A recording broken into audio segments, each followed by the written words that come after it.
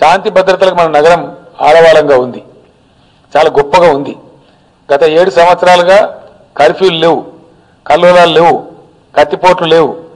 Mafia ముఠాలు లేవు. Land grabbing గుండాలు లేరు. ఎక్కడికక్కడ చాలా కట్టుదిట్టంగా వ్యవహరిస్తూ ఉన్నాం.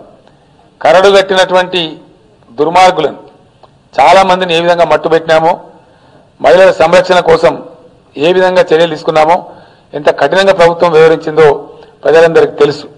షీ టీమ్స్ కానీ ఎప్పుడైనా ఎక్కడన్నా దురదృష్టవశాత్తు మహిళల మీద దుర్మార్గాలు జరిగితే ప్రభుత్వం ఎంత కఠినంగా వ్యవహరించిందో ప్రజల కళ్ళ మీద నేను పేర్లు చెప్పను సంఘటనలు కూడా చెప్పను.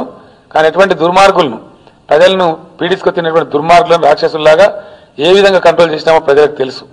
లా అండ్ ఆర్డర్ విషయంలో ఏ విధంగా వ్యవహరించినామో తెలుసు. ఈరోజు అద్భుతమైనటువంటి పోలీస్ కమాండ్ కంట్రోల్ కూడా నిర్మాణం చేసినాం. అది మూడు వందల కోట్లతో కంప్లీట్ అవుతాం అనుకుంటే ఇప్పుడు five sixty five crores revise అయింది దాని కాస్ట్ అయినా వెనక్కి పోకుండా ఇండియాలోని నంబర్ వన్ కమాండ్ కంట్రోల్ సెంటర్ని ఇక్కడ నిర్మించాం. అది కేవలం ప్రజల శాంతి భద్రత కోసం నిర్మించాం.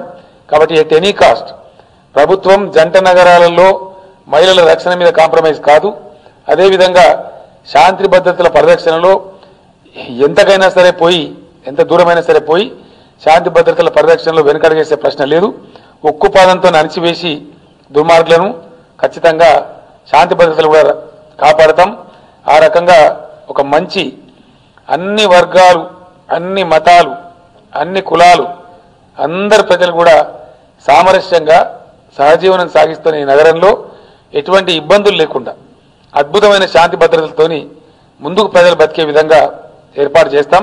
కాబట్టి దయచేసి టీఆర్ఎస్నే పెద్ద ఎత్తున గెలిపించి ఎందుకంటే నేను ఇంకో మాట కూడా మనవి చేస్తా ఉన్నా జిహెచ్ఎంసీలో వేరే వాళ్ళు గెలిచి కూడా ఇప్పుడు సాధించేది కూడా ఉండదు. కారణం ఏంటంటే రాష్ట్ర ప్రభుత్వం సహకారం కావాలి. జిహెచ్ఎంసీ అభివృద్ధి కావాలన్నా జిహెచ్ఎంసీలో అనుకున్న పద్ధతిలో టార్గెట్ సాధించాలన్నా రాష్ట్ర ప్రభుత్వమే చేయగలుగుతుంది.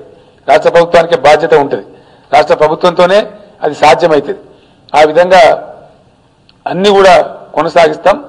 కోవిడ్ వల్ల కొంత ఆర్థికంగా దెబ్బతిని కొంత బ్రేక్ పడ్డది. అది మన ఒక్కరికే కాదు దేశానికంతా కూడా దెబ్బతిన్నాం. ఆ విధంగా కొన్ని కార్యక్రమాలు ఆగిపోవచ్చు కానీ ఏదైతే బేసిక్ ఇన్ఫ్రాస్ట్రక్చర్ కమ్యూనిటీ హాల్స్ నిర్మాణం కావచ్చు మార్కెట్ల నిర్మాణం కావచ్చు టాయిలెట్స్ పబ్లిక్ టాయిలెట్స్ విషయం కావచ్చు ఎస్ఆర్డిపి రోడ్ల విషయం కావచ్చు ఒక్కటి మాత్రం నేను గ్యారంటీగా చెప్తా ఉన్నా ప్రజలు దాన్ని పరిశీలన చేసుకోవచ్చు. హైదరాబాద్ నగరానికి సంబంధించిన ఇనిషియేటివ్స్ ఇనిషియేటివ్స్ గత చరిత్రలో ఎప్పుడు కూడా ఇంత ఇనిషియేటివ్ ఏ ప్రభుత్వం తీసుకోలేదు. ప్రేక్షక పాత్ర వహించినారు ఈ మధ్యనే జరిగితే ప్రజలను మేము అద్భుతంగా ఆదుకున్నాం. ఇండియన్ హిస్టరీలో ఏ సిటీలో ఇందాక నేను మనవి చేసినాను. వరదలు ఒక మన హైదరాబాద్లో రాలే. ముంబైలో వచ్చినాయి చెన్నైలో వచ్చినాయి రాజధాని ఢిల్లీలో వచ్చినాయి అహ్మదాబాద్లో వచ్చినాయి అంతటా వచ్చినాయి.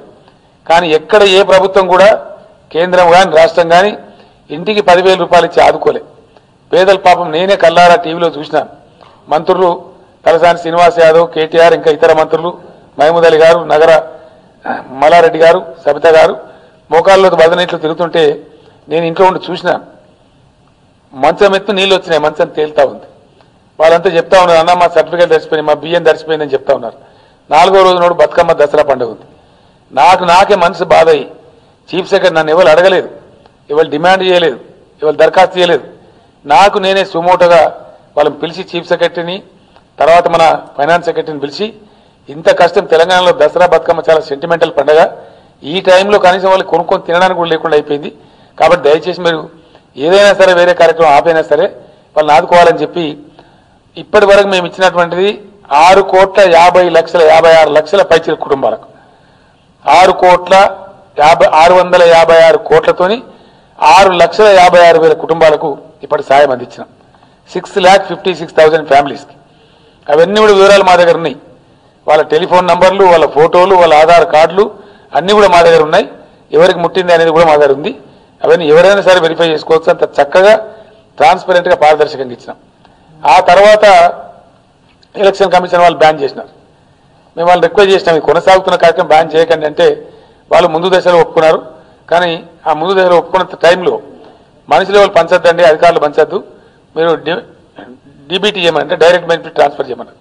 అప్పుడు అప్లికేషన్లు మీ సేవలో పెట్టుకోమన్నాం మాకు దాదాపుగా రెండు లక్షల పైచీలకు వచ్చినాయి. రెండు లక్షల ముప్పై వేలు నలభై వేలు వచ్చినాయి. ఇంకా వస్తూ ఉండే పాపం. సెంటర్లలో జనం ఉండ్రి. ఆ టైంలో కూడా దాదాపు లక్ష అరవై వేల మందికి ఇచ్చినాం. డైరెక్ట్ పోస్టల్ ద్వారా.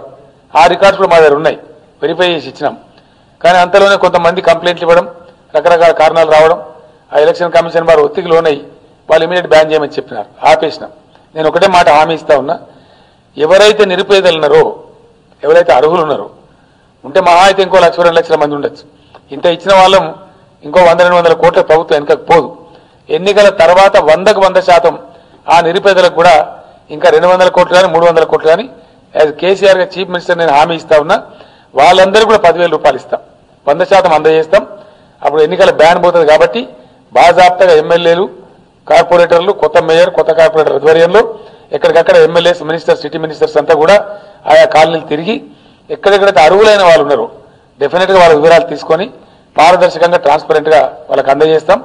ఆ హామీ కూడా ప్రజలకు ఇస్తా ఉన్నాను నేను. బ్యాన్ వల్ల ఆగిపోయింది కానీ మాకు ఆ ఉద్దేశం లేదు. ఎందుకంటే six hundred and fifty crores ఇచ్చిన వాళ్ళకి ఇంకో two fifty crores three hundred crores పెద్ద ఇష్యూ కాదు.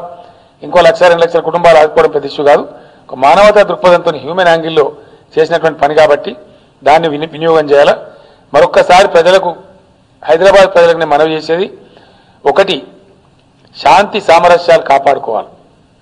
ఎవరిని ఎన్నుకోవాలా? అది మీ చేతుల్లో ఉంది. ఎటువంటి హైదరాబాద్ ఉండాలి భవిష్యత్తులో? అది మీ చేతుల్లో ఉంది. ఇప్పటిదాకా ఉన్నటువంటి హైదరాబాదే ఉండన్నా ప్రశాంతంగా చక్కగా అందరూ సామరస్యంగా బతికే హైదరాబాద్ కావన్నా లేకపోతే ఏం కావాలో ఆలోచించండి. మనకు టీఎస్ బీపాస్ కావన్నా లేకపోతే పొద్దున్న లేస్తే కల్లోలం మత కల్లోలం మన్ను కల్లోలం కర్ఫ్యూ కావన్నా. టీఎస్ బీపాసుల హైదరాబాదా కర్ఫ్యూ పాసుల హైదరాబాదా. Come on take a call జంట నగరాలలో మేధావులు ఉన్నారు విద్యార్థులు ఉన్నారు ఐటీ ప్రొఫెషనల్స్ ఉన్నారు ఇంటలెక్చువల్స్ ఉన్నారు. నేను మీ అందరికి అప్పీల్ చేస్తా ఉన్నా. ఈరోజు చాలా happening city Hyderabad. Our Hyderabad is definitely happening city ఇది బాగా జరుగుతున్న సిటీ ఆఫీస్ స్పేస్ విషయంలో కానీ రియల్ ఎస్టేట్ విషయంలో కానీ డెఫినెట్గా ఆఫీస్ స్పేస్ అద్భుతమైనటువంటి ప్రథమ భాగంలో ఉంది. అందరికంటే ముందున్నాం. అభివృద్ధిలో ముందున్నాం. ఏ ఏ సిటీకి లేనటువంటి వైవిధ్యమైనటువంటి జీవితంతో ఉన్నాం.